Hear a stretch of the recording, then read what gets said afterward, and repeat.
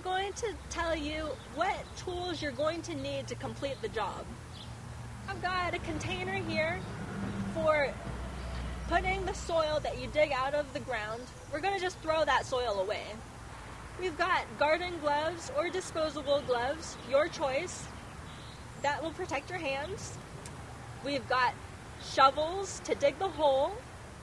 We've got a cultivator to break up the soil, a rake to even out the mulch, or you can use a hoe for that too. We've got some small shovels, small hand shovels. This will do well for more precise digging. These wooden stakes, the hammer, and the string can be used to create a boundary. Also, you might want to have a tape measure or a ruler to space the plants exactly evenly apart. You're also going to need some trimming devices. We've got manual hedge trimmers. We've got a large pruning device for larger branches. We've got some scissors and some pruners for more precise trimming.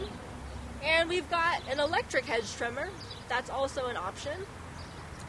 These are the tools we need for the job to plant Japanese boxwood.